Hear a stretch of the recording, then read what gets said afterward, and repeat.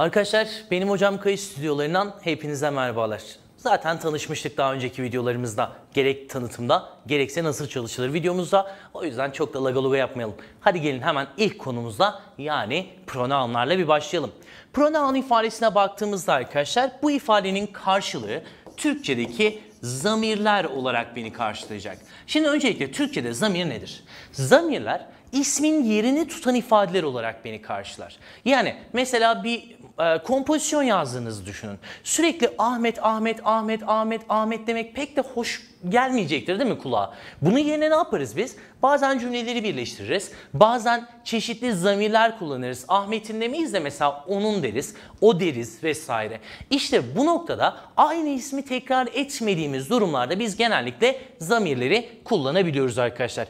Ve zamirlere baktığımızda aslında çeşitli konumlarına göre İngilizce'deki zamirler değişiklik gösterir. Yani sen bir zamiri özne konumunda mı kullanacaksın, nesne konumunda mı kullanacaksın? Buna göre e, zamirin alacağı format çeşitlilik gösteriyor. Şimdi ilk olarak bizim bakacağımız şey subject pronounlar. Yani cümlede özne konumunda bulunan zamirlere odaklanacağız. İngilizce'de özne konumundaki zamirlerimize baktığımızda arkadaşlar özellikle özneyi tekrar etmek istemediğimizde yani sürekli Ahmet Ahmet Ahmet demek istemediğimizde kullandığımız yapılar olarak beni karşılayacaktır. Ve mesela baktığımızda özne konumundaki zamirlerimiz bizim I ifadesi, ben ifadesi olarak karşıma çıkacak.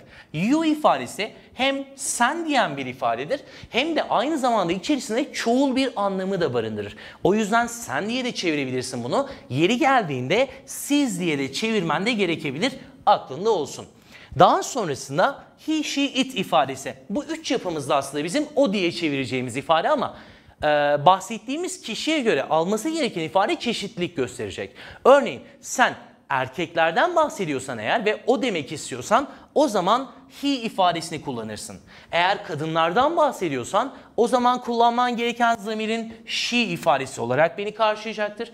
Ya da insandan bahsetmiyorsan, insan dışı bir varlıktan bahsedeceksen, örneğin köpekten, bitkiden, su şişesinden vesaire bahsedeceksen de o zaman it ifadesini kullanabiliyorsun. Aynı zamanda we ifadesi biz anlamına gelen bir yapı olarak karşımıza çıkıyor ve they ifadesi onlar diyen e, bir ifade olarak beni karşılayacaktır. Yani örneğin bir pronoun sorusu çözüyorsun ve burada bir boşluğun var. Özne yerine boşluk bırakmış. Devamında goes ifadesi karşımıza geldi gibi bir ifade düşünelim. Burası da benim gitmek anlamına gelen fiilim. Böyle bir durumda ben buraya eğer bir zamir koyacaksam bu ifadelerden bir tanesi mutlaka karşıma gelecektir. Ha, goes dediğinden dolayı he, she, de diyebiliriz tabi ama çok da önemli değil. Şimdilik en azından şunu bilelim. Eğer cümlede özne konumunda ben bir zamir kullanmak istiyorsam o zaman I, you, we, they ya da he, she, it ifadelerini kullanmam gerekiyor. Mesela baktığımızda police officers ran after the burglar. Ne demiş burada? Polisler diyor koştu ardından. Kimin ardından koşmuşlar? Hırsızın ardından koştular. Yani onu yakalamaya çalıştılar ama he was able to get away. O kaçmayı başardı. Bak şimdi burada bana he diye bir ifade verdi. E şimdi he ifadesi o anlamına gelen ve erkeklerden bahsederken kullandığım bir ifade. Peki burada he ifadesinin karşılığı nedir diye sana sorsam. Police officers deme aman diyeyim bak. Niye? Burada çünkü çoğul bir ifade var değil mi? O yüzden ben bunun yerine istersem onlar demek zorundayım. O yüzden bunun karşılığı they olurdu. Burada he dediğim ifade the burglar ifadesi olarak beni karşılamış diyebilirim. Ya da the replacement parts of, uh, for new model vehicles are relatively cheap.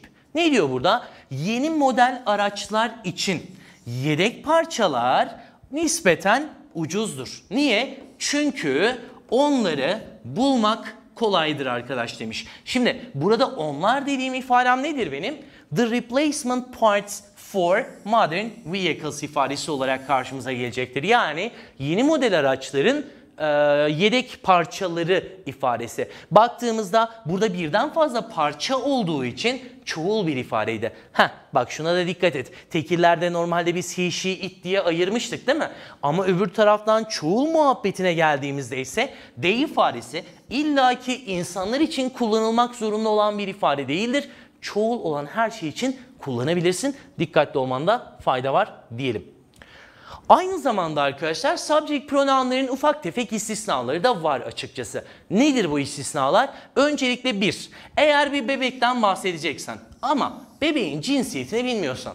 E şimdi insandan bahsediyorsun, o diyeceksin. Ama öbür taraftan he mi she mi bilmiyorum. Ne yaparım? İstersen bunun yerine cinsiyetini bilmediğim durumlarda it ifadesini kullanabiliyorum arkadaşlar. Yani mesela şöyle bir ifade verebilirim. Oh my god, your baby is so cute. Ne dedi burada? Aman tanrım senin bebeğin çok tatlı. Hiç görmediğim işte metroda karşıma çıkan bir insanın bebeğine bebeğinden bahsettiğimi düşün. E, erkek mi kız mı bilmiyorum. Ne yapacağım? O yüzden işte bak ne diyorum? How old is it? O kaç yaşında? O dediğim şey ne? Bebek ama ben bebeğin cinsiyetini bilmiyorum. Bilsem he ya da she derdim çünkü değil mi? Gönderdim. You haven't slept because of your baby, have you? Sen bebeğinden dolayı uyumadın değil mi? Baktığımızda is it always awake at night? Geceleri daima uyanık mı o? Bak ben senin bebeğinin cinsiyetini bilmiyorum. O yüzden ne yaptım? It ifadesini verdim. E it'in karşılığı ne? Your baby ifadesi olarak beni karşılayabiliyor. Ya da hayvanlardan bahsedeceğiz. Normalde insan dışı varlıklardan bahsederken özne konumunda it ifadesini kullanırız değil mi? Ama öbür taraftan benim kendi kedim ve ben bu kedinin cinsiyetini biliyorum. Böyle bir durumda arkadaşlar istersek hayvanlardan bahsederken cinsiyetini bildiğimiz durumlarda he ya da she ifadelerini kullanabiliriz. Mesela baktığımızda I must take my cat to the vet. Kedimi veterinere götürmek zorundayım. Niye? Çünkü onun tıraş olmaya ihtiyacı var. Bak he dedi. Burada he dediğim şey ne? E benim kedim e, ben kedimin cinsiyetinin erkek olduğunu biliyorum. O sebepten dolayı istersen ben burada it yerine he ifadesini kullanabilirim. Ya da mesela Mia is pawing at you. Mia seni dürtüyor. Muhtemelen neyden dolayı? Senin iht, e, dikkatine ihtiyacı var ya da senin ilgine ihtiyaç duyuyor. Yani baktığımızda arkadaş burada o dediğim, o senin ilgine ihtiyaç duyuyor dediğimiz şey nedir o dediğim ifade? E Mia, Mia benim kedim ya da senin kedin ve ben senin kedinin dişi olduğunu biliyorum. Bu sebepten dolayı da Mia yerine she ifadesini istersem kullanabilirim. Böyle bir istisnai durumumuzda söz konusu. Aynı zamanda gemi, araba, ülke, bayrak isimlerinden bahsederken arkadaşlar biz it ifadesini kullanmak yerine she yapısını tercih ederiz. Baktığımız zaman mesela the national flag of Turkey. Ne demiş burada? Türkiye'nin milli bayrağı sadece iki tane rengi barındırır. Neymiş? O. Şimdi burada she dediğim ifade nedir? E, Türkiye'nin bayrağıdır değil mi? Hatırla bayraklardan bahsederken ben she ifadesini kullanabiliyordum. Ne demiş? She has a bright red field. Onun e, parlak kırmızı bir altlığı vardır ve içerisinde beyaz bir ayı, hilali ve beyaz bir yıldızı vardır. O parlak kırmızı alt rengin üzerinde gibi bir ifade karşımıza gelmiş oluyor. Peki baktığımızda arkadaşlar subject pronounlar yani özne konumundaki zamirler bu şekilde karşımıza çıkacak. Şimdi geliyorum object yani nesne konumundaki zamirlere. Nesne konumundaki zamirler arkadaşlar tabii ki de biraz daha farklılık gösterecek. Mesela özne konumunda ben ben derken I ifadesini kullanıyordum değil mi? Ama eğer ben if, bu ifadeyi nesne konumuna alacaksam bu sefer me ifadesini kullanmam gerekiyor. Normalde I ben demekti ama beni bana derken kullanmam gereken ifade bu yapı. You ifadesinde herhangi bir değişiklik yoktur. Yani sen anlamına gelen bir ifadeydi. Eğer sen seni sana demek istiyorsan yani you ifadesini nesne konumunda kullanacaksan o zaman yine you ifadesini kullanabiliyorsun. Normalde he ifadesi erkeklerden bahseden ve o diyen bir ifadeydi. Eğer sen bu ifadeyi nesne olarak kullanacaksan, onu ona gibi bir anlam vermek istiyorsan o zaman kullanman gereken ifade artık he değil. Artık kullanman gereken ifade him ifadesi olarak seni karşılayacak. Ya da she ifadesi kadınlardan bahsederken o ifadesi olarak kullanıyorduk ama sen eğer nesne konumuna getirdiysen artık bunu, onu ona gibi bir anlam vereceksen o zaman artık her ifadesini kullanmak zorundasın. It o anlamına geliyordu özne konumunda ama nesne konumuna geldiğinde onu ona derken de hiçbir değişiklik yoktur. It ittir gibi bir yorumda bulunabiliriz. We ifadesi biz anlamına gelen bir yapıydı. Eğer sen bizi bize demek istiyorsan yani nesne konumunda kullanacaksan da artık bu ifadeyi as ifadesi olarak kullanmak zorundasın. You'nun değişmediğini söylemiştim ama hatırla özne konumunda demiştim ki you sen anlamına da gelebiliyor çoğul anlamda siz anlamına da gelebiliyor. İşte bu yüzden de you ifadesi hem seni sana demektir hem de sizi size anlamına gelen bir ifadedir. Herhangi bir değişiklik olmuyor formatında. They ifadesi normal şartlarda onlar diyen çoğul yapılardan bahseden bir ifadeydi. Ve eğer sen bunu onları onlara diye çevirmek, e, çevirmek istiyorsan yani nesne konumunda karşına gelmişse artık they demeyeceksin. Artık kullanman gereken ifade them ifadesi olarak benim karşıma gelecektir. E malumunuz bunlar nesne konumunda gelmesi gereken zamirler olduğundan dolayı arkadaşlar e, nesne nerede gelir İngilizce'de? Düşünelim subject, verb, object olduğuna göre bak fiilden sonra geliyormuş. Dolayısıyla bu ifadeler genellikle fiilden sonra gelecektir. Ya da bazen fiiller preposition yani edat da alabilirler. In gibi, on gibi, et gibi vesaire artık her neyse preposition'dan sonra ya da fiilden sonra biz bu yapıları görürüz gibi değerlendirebiliriz. Mesela give it to bilmem ne. Baktım bir preposition'dan sonra bir nesne zamiri gelecek ve diyeceğim ki onu bana ver. Benim söylemek istediğim şey bu. Onu ver ifadesi burada söz konusu. E ben burada bak bana diye çevirdiğim için give it to I diyebilir miyim artık? Hayır diyemem. Neden? Çünkü nesne konumundayım. Artık bunun yerine benim me ifadesini kullanmam gerekecektir gibi bir yorumda bulunabiliyoruz. Mesela baktığımızda you always call me by a name other than my own. Ne demiş? Ya arkadaş sen bak özne konumunda burada seni sana demiyorum. Devam ettim. Sen daima beni çağırıyorsun. Neyle çağırıyorsun? Benim adımın dışında bir adla çağırıyorsun. Baktığımız zaman burada beni çağırıyorsun dediğimizden dolayı me ifadesi karşımıza geldi. FBI worked for years to catch the drug cartel. Ne demiş? FBI yıllarca çalışmış. Ne yapmak için çalışıyor? Uyuşturucu kartelini yakalamak için yıllarca uğraştı. Ama onlar yani FBI ne yapamadı? Catch him onu yakalayamadı. Burada him dediğim ifadenin karşılığı ne? The drug cartel ifadesi ve cümlemizde nesne konumunda olduğu için de artık he demiyorum. Artık benim demem gereken şey him ifadesi olarak karşıma çıkacaktı. Yesterday, one of my friends called me because he knows that I can find him a job. Ne demiş? Dün arkadaşlarımın birisi beni aradı çünkü o biliyor. Neyi biliyor? Benim ona bir iş bulabileceğimi biliyor. Bak benim dediğim zaman özne konumunda kullandığım için burada ay ifadesi karşımıza geldi. Cümle birazcık karmaşık ama çok da önemseme boş ver. Ay ifadesi özneydi. Ama burada he dememem lazım artık. Niye? Çünkü ona diye çeviriyorum bak. Ona iş bulabileceğimi biliyor gibi bir ifade karşımıza gelmiş. O yüzden he değil him ifadesini vermem gerekti. My father is in London right now. Benim babam şu anda Londra'da. Bu yüzden de ben Bak özne konumunda geldiği için mi demiyorum. I ifadesini verdim. Ne yapamıyorum? Onu arayamam. Onu ona dediğimizden dolayı da artık he değil him ifadesini kullanmam gerekiyordu. Peki nesne konumundaki e, pronounlar yani zamirlerimiz arkadaşlar bu şekildeydi. Baktığımızda şimdi geliyoruz bir diğer kısmımıza posesif ejektiflere. Posesif ifadesi eşittir. Bunun Türkçe karşılığı sahiplik anlamına gelen bir ifade. Yani iyilik diyen ifadedir. Adjective ifadesi ise İngilizce'de sıfat anlamına gelen bir yapı. Yani burada bahsedeceğimiz şey arkadaşlar iyilik sıfatlarıdır bizim. E sıfatlar nerede kullanılır? Daima ismin önünde kullanılır değil mi?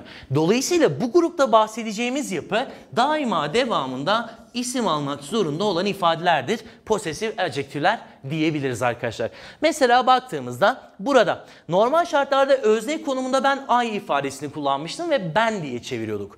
Daha sonrasında nesneyi aldığımız zaman bunu me yapmıştım. Beni, bana anlamına gelen bir ifadeydi. Ama eğer sen benim diye bir iyilik sıfatı kullanmak istiyorsan artık yapman gereken şey my ifadesini kullanmak. Hani hep deriz ya my name is ifadesi karşımıza gelir. İşte bak ne yapıyor? Bu sıfattır. Dolayısıyla devamında bir isim alıyor. Benim adım, benim kedim, benim kalemim gibi bir ifade karşıma gelecekti. Ya da you ifadesi normalde özne konumunda kullanırsan sen anlamına gelen bir ifadeydi. Ama eğer seni sana diyecek olursan da nesne konumunda da pek de formatı değişmiyor değil mi? Direkt you olarak karşımıza geliyordu. Ama eğer sen senin anlamına gelen bir ifade kullanacaksan o zaman artık your ifadesini vermek zorundasın ve your kendisinden sonra daima isim almak zorunda. Devam. He ifadesi erkeklerden bahsederken o dediğimiz ifadeydi özne konumunda kullanılıyordu. Nesneyi aldığın zaman onu ona demeye çalıştığın zamansa him ifadesi karşına gelecekti. Eğer sen bu ifadeyi bir erkeğe yönelik iyilik sıfatı olarak kullanacaksan yani mesela Ahmet'in değil de onun demek istiyorsan o zaman his ifadesini kullanıyorsun. Geçtim. She ifadesi kadınlardan bahsederken o diyen bir ifadeydi ve özne konumunda kullanılıyordu. Eğer sen bunu alıp nesneye getireceksen artık ne diyeceksin? Her ifadesini verecektin. Ee, daha sonrasında eğer sen sahiplik sıfatı olarak karşına getireceksen bu ifadeyi de ne yapıyorsun arkadaş dedim? Her ifadesini kullanıyorsun. Onun anlamına gelen bir yapı karşımıza gelecektir diyebiliriz. Daha sonrasında it ifadesi o anlamına gelen bir ifadeydi ve insan dışı varlıklardan bahsederdi. Eğer sen bunu alıp nesne konumunda kullanacaksan yani onu ona gibi bir ifade vereceksen o zaman yine it ifadesini kullanıyordun. Ama artık bunu iyilik sıfatı yapmak istiyorsan o zaman its ifadesini vereceksin. Yani devamında bir isim kullanacaksın. Its name, its pa artık ne dersen vesaire. Gönderdim. We ifadesi biz anlamına gelen bir ifadeydi. Eğer bizi bize diyeceksen bunu as yapmıştık hatırlarsan. Eğer sen artık bunu sahiplik sıfatı olarak kullanacaksan da our name ifadesi şeklinde our ifadesini kullanman lazım. Bizim diyen ifadeydi ve yine devamında noun isteyecektir. Gönderdim. You, e, sen de diyordu, siz de diyordu değil mi? E, nesne konumunda da hiçbir farkı yoktu. Seni sana, sizi size gibi bir ifade verecekti. Eğer your dersen de ne oluyor? Sizin anlamına gelen bir ifade. Sizin arabanız, sizin kalemleriniz, sizin düşünceleriniz derken beni karşılayacak. Sonrasında they ifadesi onlar diyen bir ifadeydi. Nesne konumunda kullanacak olursam they demiyordum artık değil mi? Them ifadesini kullanacaktım ve their dersem de onların diyecek olursam da devamlı isim alacaktır bu ifademiz. Peki hadi gel bir bakalım. Profit demiş. Kar değerlendirilebilirmiş. Ne olarak değerlendirilebiliyor? Difference, fark olarak. Between and ifadesi bir şey ile bir şey arasında anlamına gelen bir yapı. Genelde kol kola görürüz hep between and'i. Ne ile ne arasındaki bir fark olarak değerlendiriliyormuş kar dediğimiz şey the sale price of an object.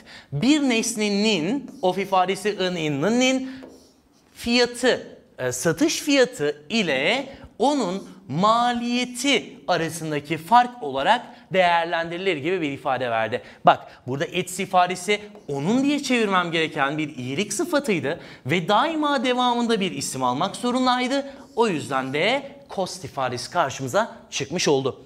This book, bu kitap demiş, dırdır, hakkındadır. Hmm, ne hakkındaymış? A woman, bir kadın ve onun savaşı hakkındadır. Bak her ifadesi onun diyen bir sahiplik sıfatıydı. Devamında da zaten savaş ismini aldı. Neyle savaşmış bu? Against, e karşı. Neye karşı? Bir e, suç patronuna karşı savaşı hakkındadır. Toparlayayım. Bu kitap bir kadın ve onun bir suç patronuna karşı olan savaşı hakkındadır gibi bir ifade verdi. May benimdi. E, isim gelecekti. Benim doktorum bana söyledi ki. Neyi söylemiş? Ben e, uykusuzluktan muzdarip olabilirim. As a side effect olarak as ifadesi. Ne olarak? Yan etki olarak. Neyin yan etkisiymiş bu? Bu ilacın yan etkisi olarak ben uykusuzluktan muzdarip olabilirmişim. Doktorum bana bunu söyledi. Benim doktorum ifadesi karşımıza gelmiş oldu. Arkadaşlar bu noktada eğer sen normal şartlarda sahiplik sıfatı devamında isimle gelir demiştim. Ama ekstradan sen bir vurgu katmak istiyorsan bu cümleye yani ben kendim yaptım arkadaşım demek istiyorsan o kendim anlamına gelen own ifadesini de kullanabilirsin. Bu own ifadesini nerede kullanacaksın? Normalde mesela my ifadesi geliyordu. Devamında isim geliyordu değil mi? Artık sen my'la e, isim arasına bu own ifadesini kullanabilirsin. Benim kendi bilmem neyim diye o kendi çevirisini ekler own ifadesi cümleye. Mesela I ben dedi completed tamamladım. Neyi tamamladım? Benim projemi tamamladım. Bak normalde bu ikili kol kola zaten. Ama araya own ifadesi geldiyse arkadaşım ben kendi projemi tamamladım. Sen de aynısını yapmalısın gibi bir ifade bizi karşıladı. Ya da herkes sahiptir. Neye sahiptir? Their problems. Onların problemleri ne? Sahiptir. Ama buraya baktığımızda araya on, gel on geldiğine göre arkadaşım herkes kendi problemlerine sahiptir gibi bir ifade vermem gerekecekti. Ne demiş? You should stop. Durmalısın artık. Neye duracaksın? Ne hakkında? Talking. Konuşmayı bir bırakmalısın artık. Ne hakkında konuşuyorsun? Your problems. Kendi problemlerinden sürekli konuşmayı bırakmalısın. Herkesin problemi var gibi bir ifade verdi. Ya da the için ne olduğu için Fatma tercih ettiği için. Neyi tercih ediyormuş Fatma? Doğal şeyleri yemeyi tercih ettiği için o ne yapıyormuş? Pişiriyormuş. Neyi? Onun ekmeğini. Ama on geldi Ha, Fatma doğal şeyleri tercih ettiği için kendi ekmeğini de pişirir gibi bir ifade veriyor. Yani eğer sen posesif ejektifle ismin arasına own ifadesini getirirsen bu senin kendi yaptığın anlamına geliyor. Ekstradan bir vurgu katıyor ve own eşittir kendi anlamına gelen bir ifade. Bunu bil yeterli olacaktır diyelim. Peki geldim şimdi posesif pronounlara. Şimdi posesifin biraz önce posesif ejektiflerden sahiplik olduğunu anlamıştık değil mi? Pronounlara baktığımızda ise bu sefer sahiplik, sahiplik sıfatlarından değil bak. Sahiplik zamirlerinden bahsediyoruz. Ha, sahiplik zamirleri nedir? Arkadaşlar normal şartlarda sahiplik eki olan bir ki eki vardır ya Türkçe'de. Aslında e, posesif pronounların bana verdiği muhabbet odur. Nasıl? Mesela komşu kocan geldi mi benimki gelmedi. Şimdi baktığımızda burada benimki dediğimiz ifademiz bizim ne olarak karşımıza çıkıyor? Benimki eşittir benim kocam olarak karşıma çıkacaktır. Yani aslında ne yapıyormuşuz bak? Sahiplik eki artı isim dizilimi yerine biz sahiplik eki ki ekini kullanıyoruz Türkçe'de. İngilizce'de bunu yaparken de nasıl yapacağız? Sahiplik belirten sıfatları kullanıp genellikle devamına s takısını ekliyoruz ama gel ufak tefek farklılıklar var buna bir bakalım. Normal şartlarda özne konumunda I dersen ben de. Daha sonrasında nesneyi aldın me oldu, beni bana oldu. Sahiplik sıfatı yaptın my oldu. Yani benim diyen ifade oldu ve devamında isim istiyordu. Mine dersen de ne oluyor? Benimki. Yani eşittir aslında bu ifadenin karşılığı yani mine ifadesinin karşılığı my artı isim dizilimi olarak beni karşılayacak. Ya da you ifadesi özne konumunda sen anlamına gelen bir ifadeydi. Nesne konumunda değişmiyordu ama çevirisi seni sanaydı. Daha sonrasında sen sahiplik sıfatı yapıyorsan your ifadesini kullanacaktın. Yours dersen de seninki oldu. E bak buradaki s takısının verdiği anlam işte bu ki eki oluyor. Ve yours ifadesi eşittir your artı noun ifadesi olarak karşıma çıkacaktır benim. Daha sonrasında erkeklerden bahsediyorsan o diyeceksen hani özne konumunda he diyordun. E bunu daha sonrasında nesneye alırsam him oldu. Daha sonrasında sahiplik sıfatı yapmak istersem his ifadesi olmuştu. Yani onun diye göreceğimiz ifadeydi. Sonra his'e geldim. Bak sahiplik sıfatıyla zarf versiyonu, e, zamir versiyonu değişmiyor. Onunki ifadesi oldu ama yine nedir? Eşittir his artı noun dizilimi olarak beni karşılayabilirdi. Eğer özne konumunda kadınlardan bahsedeceksen she diyeceksin. O. Daha sonrasında bunu höre çevirirsen onu ona şeklinde bir çeviriye sahip oluyordu. Nesne konumundaydı. Eğer sen sahiplikten bahsedeceksen yine hör oluyor. Bir şey fark etmiyor. Eğer devamına bir de s takısı getirirsen artık bak onun ki olduğu ve her ifadesi eşittir. Her artı noun dizilimi olarak benim karşıma çıkacak. Ya da it o anlamına gelen insan dışı varlıklardan bahsettiğimiz şeydi. Daha sonrasında eğer sen bunu nesne olarak getireceksen yine it yapıyorsun. Onu ona diye çevirdiğin ifade. Its ifadesini verecek olursan da onun anlamına gelen bir ifade devamında isim oluyordu. Its ifadesi yine herhangi bir format değiştirmiyor. Bu da onunki diyen bir ifade. Yani its name yerine its ifadesini yine kullanabiliyorsun. Herhangi bir sıkıntı yoktur. We ifadesi biz anlamına gelirdi özne konumunda. Nesne yaptığın takdirde ne olacak? As, biz, bizi, bize. Daha sonrasında sen bu ifadeyi eğer sahiplik sıfatı olarak kullanacaksan our olacaktı. Devamında isim olacaktı. Bizim anlamına gelen ifade. Eğer bizimki demek istiyorsan ours ifadesini kullanıyorsun. Yani baktığımızda ours ifadesi aslında nedir? Our artı noun dizilimi olarak karşımıza gelecektir. Ya da you. E tamam sen anlamı vardı ama bir de çoğul anlamı var değil mi? Siz anlamı vardı. Eğer sen sizi size anlamına gelecek e, olarak kullanacaksan nesne konumunda yine aynısını kullanıyordun you ifadesini. Eğer sen sizin demek istiyorsan yani sahiplik sıfatı yapacaksan o zaman da kullanacağın ifade your olacaktı. Eğer sahiplik zamiri yapacaksan s takısını ekledin artık bu ifadede sizinki şeklinde bir ifade oldu ve bunun karşılığı your artı noun dizilimi olarak beni karşıladı. They ifadesi onlar diyen ifadeydi. Çoğul bir yapıydı. Eğer sen bunu nesne olarak kullanacaksan onları onlara anlamında them olacaktı. Ve their ifadesi onların diyen sahiplik sıfatıydı. Eğer sen artık bunu sahiplik zamiri olarak kullanacaksan da their ifadesine o sıfat versiyonuna s takısını ekledin. Onlarınki oldu. Yani theirs ifadesi eşittir. Their artı noun dizilimi olarak karşımıza çıkmış diyebiliriz. Peki hadi gel örnek cümlelerimize bir bakalım. Everybody, herkes demiş sahiptir. Neye sahiptir? Onların kendi, biraz önce değinmiştik hatırlarsan değil mi? Onların kendi yaşam hikayesine sahiptir. Yani herkesin bir yaşam hikayesi vardır. Ve ben istiyorum arkadaşım paylaşmayı. Neyi paylaşmayı? Benimkini paylaşmayı, seninle paylaşmayı istiyorum. Bak burada benimki dediğimiz ifade bizim nedir? My artı. Daha sonrasında hatırlarsan burada nitelediğim ifade life story değil mi? Herkes kendi hikayesine sahiptir. Ben de benimkini yani benim life story'mi. İstersen mine yerine bunu da yazabilirsin. Sıkıntı yoktur. Baktım bir diğer cümleme. The mayor, uh, the, the mayor of our city. Şu Y olacak yanlış yazmışız.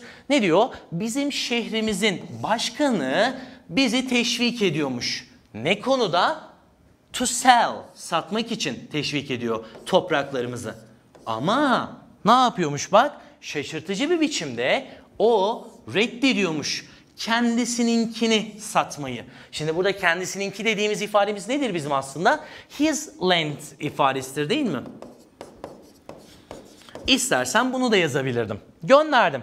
Both sides of my exam paper is full.